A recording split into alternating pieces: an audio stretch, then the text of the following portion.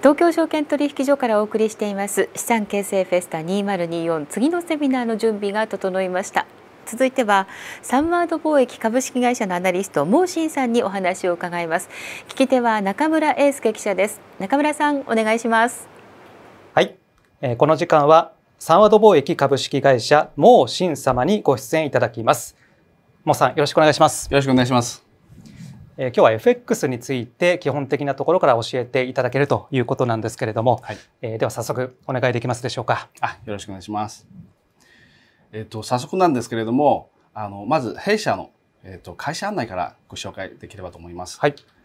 えっ、と弊社あの昭和39年1964年で設立した会社でして、えっ、と今年は60周年に迎えている会社です。今東京本社はえっ、と東京オペラシティタワーの43階にえー、考えております。また、大阪支店と札幌支店の方に2カ所を展開しております。で、まず、あの、紹介したい FX なんですけれども、まず今年から、え、ー、と、昨年まで、まず背景の方を紹介したいと思います。えっ、ー、と、今、日本の個人の FX の口座数、まず見ていただきたいと思います。えー、なんと、10人に1人ぐらい、1200万口座数を超えております。はい。で、新聞でも出てたと思うんですけれどもあの2022年それから2023年にも、えーと、個人の FX の取引額が1件円を超えて2年連続に大台に乗ったというところです。でまずあと今年のあんまり言いたくないですけども元日の地震にもちょっと円高にならなかったんですけれどもまた日本の、えー、マイナス金利も解除も見送りしたというところです。また、えー、為替に一番関わりやすいところなんですけれども、金利なんですよね。えー、まずアメリカの方はインフレリスクが粘り強く残っているために FRB の方は4回も金利を据え置きしました。で、またちょっと後ほど紹介したいあのメキシコペソなんですけれども、えー、メキシコ中金の方も7回の連続据え置きの金利を発表しております。はい。はい。で、今回ちょっとまず見ていただきたいのが、えー、クリック365という FX の中に昨年1年間通しての取引の FX の数量なんですけれども、はい、まずやっぱりどうしても不当の1ドル円なんですけれども、米ドル円なんですけれども、はい、で、名村さん見てほしいのが、えっ、ー、と、メキシコペソ円なんですけれども、2番目なんですね。なんと2番目です。はい。はい。で、我々このメキシコペソをご紹介している、えっ、ー、と、ポイントとしましては、2点ほどございます。はい。はい。まず一つは、えっ、ー、と、先ほど紹介してた金利差なんですけれども、えっ、ー、と、FX の中にはスワップポイントといったといったところなんですけれども、スワップポイントは高いんです。高いはい、高いです。で、もうもう一つは、メキシコペソ円のレートのところなんですけれども、えー、今現在、リアルタイムで1ペソがだいたい8.7円ぐらいなんですけれども、これがまだまだ伸びそうなところありますので、FX ってちなみに中村さんは私たちはやってる投資スタイルなんですけれども、ええ、2点ほどございまして、はい、一つはどんな投資も一緒だと思うんですけれども安いところで買って、はい、もしくは高いところで売っていくという投資スタイルなんですけれども、え、いわゆるこういったあの差損益を狙っていく短期のスタイルなんですけれども、はい、えでもう一つは先ほど紹介してたスワップポイントという中長期の積み重ねというあの投資スタイルなんですけれども、はい、はい、でこのメキシコペソは実はどちらでも期待できそうな銘柄なんです。どちらでも、はい、それはいいですね。はい、ダブルで狙いそうなところなんですよ。はい、はい、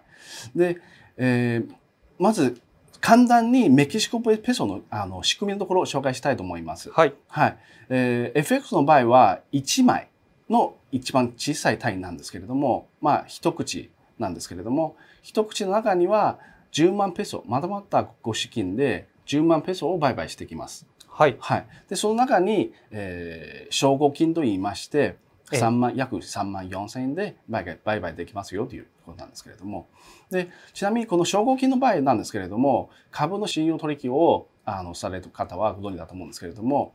まあ、いわゆる担保みたいなものなんですけれども、はい、1ペソが、えー、約、例えば両替するときには1ペソが8.7円である場合ですけれども、トータルで10万ペソを両替するときに、本来は87万円ぐらいかかるんですけれども、そうじゃなくて、全部で87万円で売買するんじゃなくて、日本の法律で決まっている25分の1ぐらいで売買できますよという証拠の由来です。これで計算していくと約3万4千円です。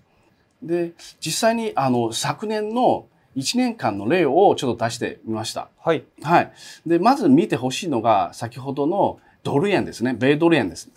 はい。この米ドル円の場合は、えー、FX マーケットはオープンしたのは1月の3日なんですけれども、えー、えっと、クローズしたのが12月の29日です。じゃあ、このオープンした日の始まり値を買っていただいて、はい、じゃあ、クローズするときに、じゃあ、それを掲載するというケース、運用例をまとめてみました。1年間持って年末に？持ったままです。はい。で、年末に決済した場合。そうです。1回だけ、2回のみの売買なんですけれども、じゃあ、このぐらいどの、どれぐらいの、えっ、ー、と、利益出せると申しますと、えっ、ー、と、見てほしいのが、100口、100口、100枚を、証拠金約600万かかりますけれども、買った時には1ドルが130.840でした。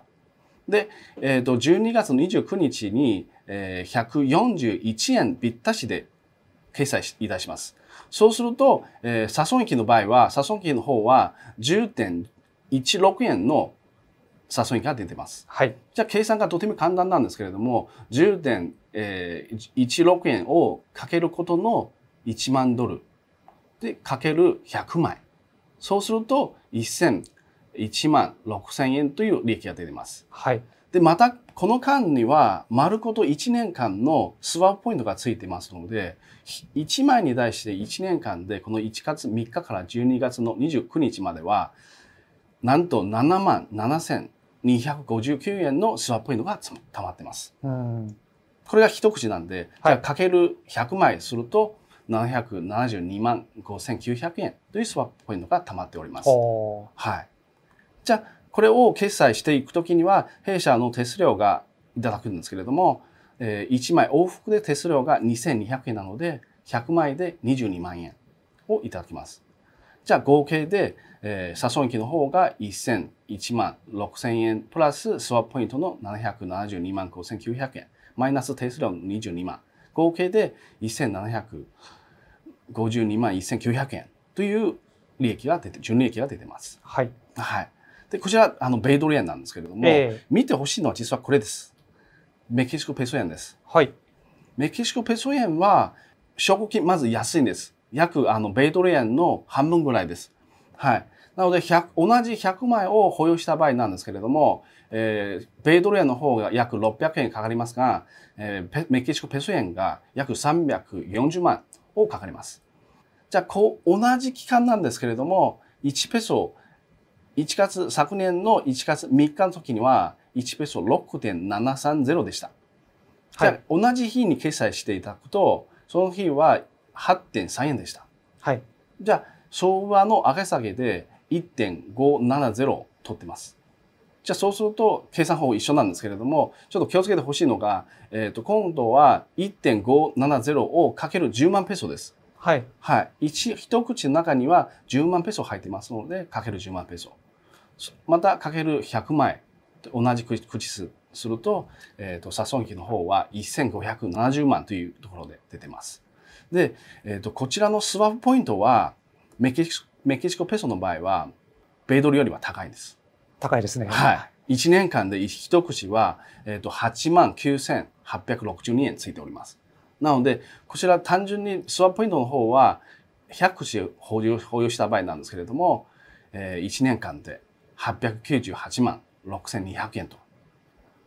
いうスワップポイントが溜まっています。で、また同じ、えーと、手数料なんですけれども、引く22万。そうすると、このメキシコペソを単純にあの100万円を長期で、中長期で保有した場合、年間で2446万6200円という利益が出てます。えーまあ、このケースですと、はい、えー、確かに340万円からこうものすごい利益が出ているということになるんですけれども、はい、実際はあのどのくらいの金額から始められる方が多いんでしょうか？あ、えっ、ー、と弊社三和堂貿易は皆様にですね、あの一人一人のオーダーメイドといった投資プランをあの提案しておりますので、皆様それぞれなんですけれども、まあえー、皆様と相談しながら投資されるというのを私たちが提案しておりますので。はい。はい。わかりました。はい。で、メキシコペソを紹介し、このさっきのスワポイントなんですけれども、はい、えー、まず見てほしいのが、この金利差なんですけれども、ええ、FX の中には、やっぱり一番影響しやすいのは金利差なんですよね。はい、単純に言うと、えっ、ー、と、まずこちら、ブルーの方はメキシコ中央銀行が出している政策金利なんですけれども、今なんと11.25%あります。で、真ん中のグレーの方はアメリカの、えーと、政策金利、上限金利が今5.5%あります。で、下の方はオレンジの方は日本です。で、しばらくずっとマイナス0.1という政策金利なんですけれども、えー、先ほどもあ申し上げたように、えー、やっぱり一番影響しやすいのは、えーと、金利差なので、やっぱ金利が高いと変わりやすいんです。なので、さっきのあのメキシコペソのスワップポイントも、この11.25%の金利がありますので、そうするとやっぱり年間がもらうスワップポイントも高いんです。はい。で、このスワップポイントなんですけれども、はい、じゃあ、年、過去のじあの実績を見ていただきたいんですけれども、はい、昨年の2023年には年間で一口8万9862円です。これが2022年だと5万1137円です。はい。見ていただくと分かると思うんですけれども、多少あの金額違いますよね。あそうですね。はい。これも、えっ、ー、と、ここの金利が変動するので、金利が高いともらう金利も高くなってきますので、で、金利が減ると、あの、日本の金利差も減る、減りますので、そうすると、あの、付与される額も減ります。はい。はい。で、年間で、ちなみにこのメキシコペソが上場したした以来は、えっ、ー、と、2017年の上場なんですけれども、一度も、あの、このスワップポイント自体がマイナスになっているのがないんですね。あ、そうなんですか。はい。なので、ずっと、これ見ていただくと、ずっと日本より金利が高いので。そりゃそうですね。そうです、はい、なので、年間でずっともっと、もっといくと、やっぱりスワップポイントがずっと溜まってきます。うん、はい。はい。で、えー、メキシコペソのスワップポイントはちょっとまとめてみたんですけれども、はい。まあ、分かりやすく紹介したのはこの100枚で例で言いたいんですけれども一口が約3万4千円の賞金なんですけれどもじゃあ100口で持っていただくと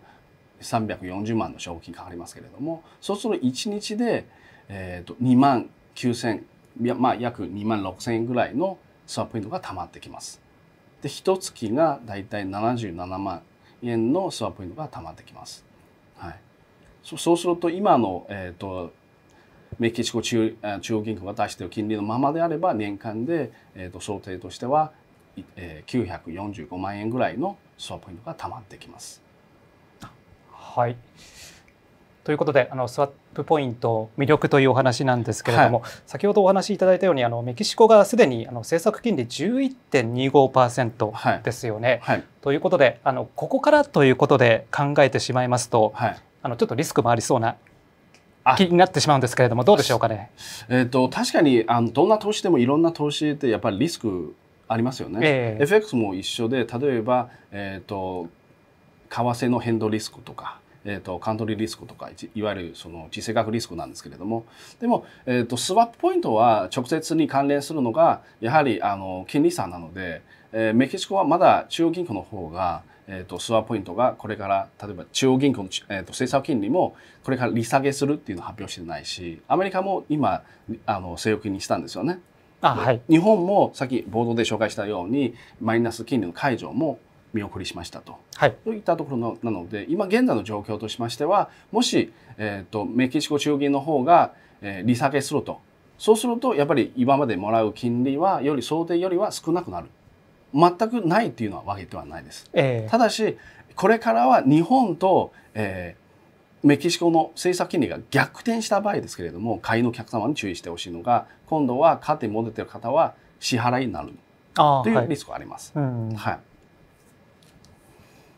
まあ、その辺のリスクも少し頭に入れておきましょう、ね、ということですかね。はい。ただし弊社の場合は、えーと、アドバイザー付きの対面講座が一番人気なので、はい、はい、あのアドバイスをあの聞いていただいて、まあ、一緒に、はい、あの相場を見ていただくんですけれども。あはい、わかりました。はい、でやっぱりこれからのところなんですけれども昨年の、えっと、通貨の騰落率を見てほしいんですけれども、はいメキシコペソが実はその中に一番伸びてました。はい。はい。えっ、と、米ドル円が7.57%ぐらいのええ伸びてますけれども、カナダドルも9.88%というところで、ユーロもまあ10.9%というところなんですけれども、まあ伸びてるところは見ていただくと、まあ、実はやっぱり先ほど紹介してたかわ関わってくるのがやっぱり金利差なんですよね。ほとんどの国が利上げしました。なので、その中にはやっぱり、えっ、と、メキシコペソの方は、えー金利も高い。そうすると、もう一つこれから紹介したいのが、えーメキシコペソはなぜここまで伸びているのか紹介させていただきたいんですけれども、気になるところですね。はい、23.5%なので、えー、と昨年一番優秀な通貨で言われてます。はい。はい、でまず見てほしいのが、えー、とこれ月足なんですけれどもはい。こここはコロナの時なんですけれども、ええ見えますか？ここが、えー、と大体6円5円から6円ぐらい前後で動いたんですけれどもはい。ここから、えーとまあ、あらゆるものが全部下がったんですけれども史上最安値の4.22円を底値を売ってからじわじわと上がってきております。うん。今現在はだいたい8.7円ぐらいです。はい。はい、で、えっ、といこちら見ていただくとちょっと空白なところが窓ができているんですけれども、えここがこの窓の下のところ上のところなんですけれどもだいたい14.5円ぐらいです。はい、私個人的にはこれからメキシコの経済がどんどん成長していくうちにはこの窓埋め作業が必ずしていくんじゃないかと思ってます。はい。はい、なので、えー長期で見るとあのメキシコペソ今8.7円のところなんですけれどもえ14.5円とか15円とかいう回復していくのが見えてくるんじゃないかと思ってます。楽しみにしております。あなぜかというと、はいまずメキシコは中村さんご存知だと思うんですけれどアメリカのすぐ隣の国じゃないですか。はい。はい、でここがすごい大事です。あ、そこがポイント。ここがポイントです。あのここは実はあの地理的な優位性があります。はい。あのメキシコはアメリカの下なのですぐ隣の国なのでどんないっぱい工場があります。はい。たくさんの工場があります。私もあのアメリカに住んでたんですけれども、まあ、とにかくアメリカ、えーメキシコからの、えー、とものがたくさんあります。例えば普段の生活でいうとマーケットの中にはお野菜とか果物とかいっぱいあります。それとプラスに実はアメリカ、えーメキシコにはたくさんの自動車関連の工場があります。はいパーツもそうなんですけれども組み立ての工場もいっぱいあります。でもともと,、えー、とナフタっていうのが北米の自由貿易協定があるんですけれども、はい。その中で、えー2020年約4年前なんですけれども7月の1日から USMCA になったんですけれどもここの内容を見ていただくと、えーほとんどの前の内容、えー、とナフタと変わってないんですけれどもまあ少し、えー面前のところが変わってるんですけれどももう一点あの見てもらいたいのがこの赤い字の書いてるところなんですけれども、はい。えーここは為替条項が投入されてます。為替条項が入ってると。はい、はい為替条項はどういったものと申しますと簡単に言うとメキシコペソを安くするなということです。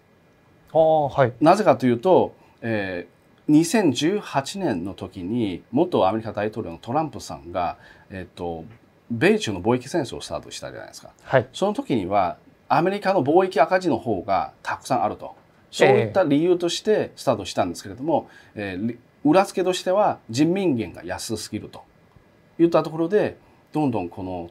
いろんな国からいろんな国へはあの破綻したんですけれども、えーその中にはメキシコも、えー元ナフタを書いて USMCA で条件付きで為替条項に入れました。要するにペソも安くなると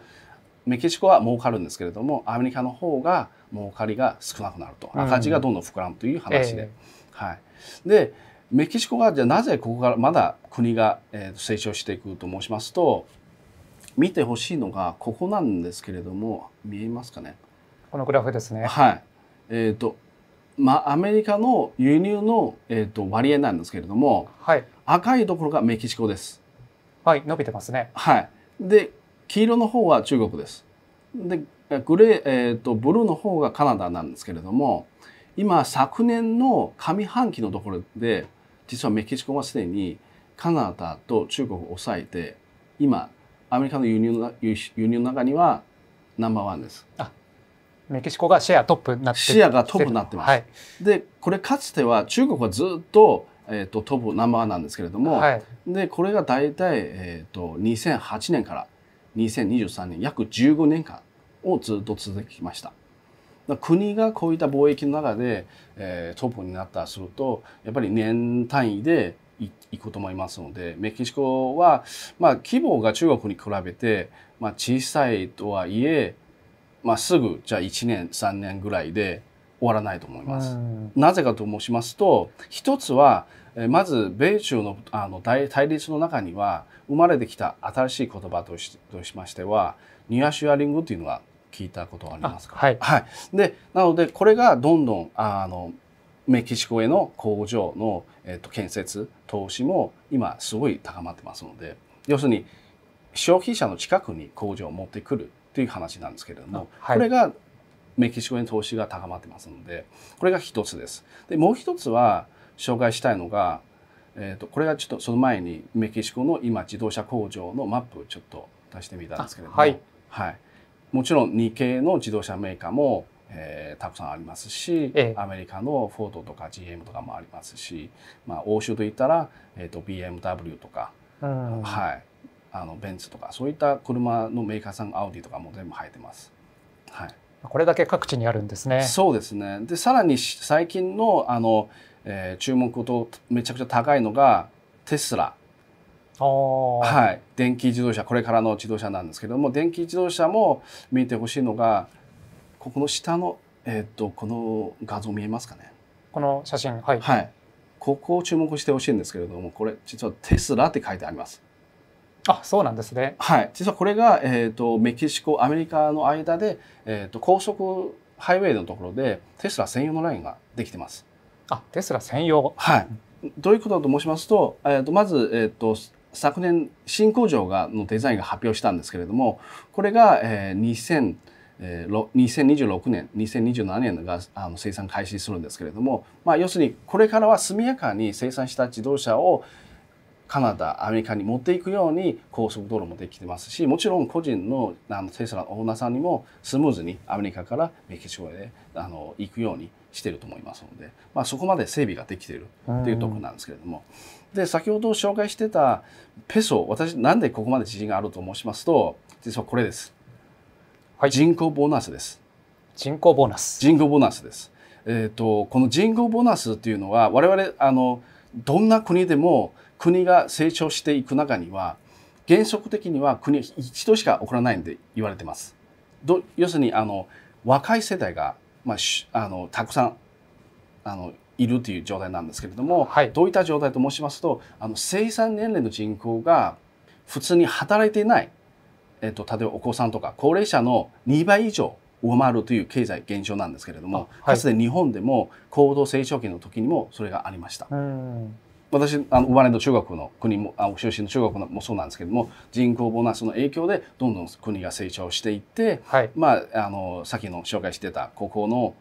えー、2008年からずっとあのアメリカの貿易の中にはトップにあの占めているところも人口ボーナスのおかげだと思います。じゃあメキシコはこれからの人口ボーナス席が入っているところなので今見ていただくとに人口は実は日本とそんなに変わってないです。総人口は1億3100万ぐらいです。はい。でもこの生産年齢人口はとても若いんです。はい。えっ、とちなみに今日本はこの年齢が49歳で言われてます。はい。メキシコは29歳で言われてます。あ、29歳ですか。はい。とっても若いんです。えっ、とちなみに人口ピラミッドも持ってきたんですけれども、はい。こんな感じです。日本とほぼ逆の感じになっております。はい。なので今メキシコがえー、と人口ボーナス期が入っているのでええでこの人口ボーナス期に入ると働く世代がとても多いなのでそうするとやっぱり経済もどんどん成長していくプラス海外の投資も今すごい増えておりますので最近のニュースだと,、えー、とアメリカの、えーインベストマンクとかそういった投資銀行もメキシコへの投資が期待感がとても高高いので、はいまあ、ぜひメキシコも注目していただきたいと思います。ここにありますけれども、はいえー人口ボーナス期のピークは29年から31年ということでそうですねまだ先なんですね。まだ先です。なので私は、えー、と先ほど紹介してたメキシコペソ円のレートを見ていくと、まあ、今8.7円なんですけれどもはい。あじわじわと回復をしておりますので、ええ。この人口ボーナスのおかげだと思いますしこれからさらに人口ボーナスの、えー影響によってさらにもう一段階うん回復していくんじゃないかと思います。はい。はい、でなぜ人口ボーナス期がここまで自信があると申しますと2つのチャートを見てほしいんです。はい、まずドル円ドル米ドルと人民元の付け足見てほしいんですけれども、ドル人民元。はい、ドル人民元なんですけれどもここが人民元、えー、と中国要するに、えー、と経済が入っていく人口ボーナス期が入っているところなんですけれどもどんどんこれ実は下行くほど人民元高になっていくんです。あそういうことですね。はい。なのでどんどんこの人民元がかい、えー、と高くなっていて最近になるとこんな感じなんですけれども。えはい、でもう一つはこれメキシコ直接関係するなんですけれども関連するなんですけれどもこれも経済がそこまでが乗ってない時にはやっぱりどんどんメキこれも下行くほどペソが高いんで、あはい上に行くとペソ安いんです。えええなので、えーペソがどんどん安くなった時もあって2020年のは始まりあの年なんですけれどもどんどんこれペソ高になってきました。えははい、なのでこの人口ボーナス期はかなり,、えー、とかなり、えーパワーが強いとはい。私が思ってますので、あうん。はい。なのでこれからの、えーペメキシコペソ円のはい。影響もさらに8.7じゃなくて将来的には14円とか15円の世界にはあ見えてくるんじゃないかと思思っております。はいまだこう上昇相場の初期段階なんじゃないかというふうにお考えたということ途ですね。中私はとまだ途中だと思います。途中だということですね。はい。はい、あと FX はやる以上には、えー、とロスカットのあの制度がありますので、はい。まあ、今日は、えー、とそこまであの紹介できてないんですけれども、まあ、またこういったロスカットの話も、えー、と弊社のスタッフとかをご紹介できればと思いますので、はい。はい、ただもう一個しょあの見てほしいのが、えー、と例えばスワップポイントなんですけれどももう一回戻るんですけれどもスワップポイントのところは例えばこういった下がっている場面はどのぐらいのスワップポイントが助けられると思います？上がってる分はいいじゃないですか。ええ。はい、ただここ下がってる部分を見ていただくと0.5円下がるとマイナス500万の損益なんですけれどもただ年間でこれ100枚持つと945万円の損益に溜まってくるんではい。まあ、そうすると何も売買しないででも年間で445万円という利益が出てます。はい。じゃあもし例えば万が一、えっと、買った時点から1円も下がりましたと、ええそうすると1000万円のあの損失が出るんですけれども、はいただここがスワポイントが945万円うん溜まってますんで、マイナス55万円なんですよね。はい。じゃあ同じずっとこの金利差で考えると77万円ぐらい毎月が溜まってきますので、ええじゃあもう一月溜まってきたらプラスになっていくっていう感じなんですけれども。はいまあこれがカバーしてくれるケースもあるということですね。そうですねはい。はいわかりました。はいえーいろいろお伺いしましたけれども、はい、まあさらに、えー、モーさんから、えーサービスのご案内があるということなんですけれども、今回ちょっとお時間なんですけれどもそんなに、えー、と詳しくご紹介できなかったので、えー、と随時勉強会の方も開催しておりますのでもう一回 FX の仕組みとかリスクとかロスカートの話も聞きたい方もいらっしゃると思いますので、えー、と対面でもオンラインでも、えー勉強会を開催しておりますのでまたあの応募の方お待ちしております。あこれは随時開催されているものそうでなんですね？ね。はい弊社のホームページを入っていただくとそういったあの勉強会が開催しておりますので、はい。わかりましたはい。はいまたサーバーのサービスとしましては、えー、と24時間のコンシェルジュリスクを常駐しておりますのでまた FX の方にも話せるという取引がありますので私みたいなアドバイザーが必ず1人2人ついておりますので必ず、えー、とアドバイザーついて1人でやるもんじゃないのでぜひご検討ほどよろしくお願いします。はい、えーわかりました。まあ、こういったものもご検討いただければということですね。はい。えーということで、えーこの時間はサンワード貿易株式会社のモーシンさんにお伺いしました。ありがとうございました。ありがとうございます。サンワード貿易株式会社のセミナーをご覧いただきましたあの今モーさんに、はい、アナリストの方に詳しくお話を伺ったのはメキシコペソと円を通じた、はい、FX 取引ではありましたが、えー、どうしても私はそのメキシコという国の あの経済規模とか、はい、日本企業の、まあ、投資先としての魅力とか、まあ、そういう方ばっかりにどういう目がいってしまいましたね。あのそちら今提示していただいていた資料の中にもございましたが日産自動車がメキシコに投資を決めた、はい、えー、まあ、スウェーデンの SKF というんでしょうね、えー、ナノクローナ。日本にして、まあ、おそらく100億円だと思います。今14円ぐらいですからあのスウェーデンクローナと円の交換比率が。で、まあ、これぐらいのやっぱり同じ規模を決めた。でテスラも投資しているというのがありましたね。はい、あの改めて言われて、まあ、あの気が付くということがたくさんやっぱりあるんですが、うん、この これもあまり上手にないんですけど間に合わなかった。難しくて書けなくてそのアメリカの貿易比率、はい、アメリカが輸入するという比率がそのカナダとか書ききれなかったんですが中国が急落していて、えー、でメキシコはどんどんどんどんウエイトが高まって日本もずっと下がっているとい。うのも、はい、これも新しいあの今回の、うん、私にとっての収穫ということになりますね。えー、はい私ちょっと話がそれるんですけどあのもうフリーのアナウンサーなのでいろんな現場で仕事をしていて、はい、昨日別の現場にいて、ええ、でも十何年もの付き合いのスタッフさんたちが初めてで新ニーサどうなのって聞かれたんですよ。今まで経済の話なんかしたことなかったのにでそれぐらいにその新ニーサ投資に関する熱が高まっていて、みんな興味があるんだなと思ったんですよね。はい、でそんな中で今お話を伺ってえそこなんだって思ってびっくりしたのがやっぱりちょっとメキシコペソだったんですけどメキシコペソがですねクリック 365FX の取引数量で米ドルに続く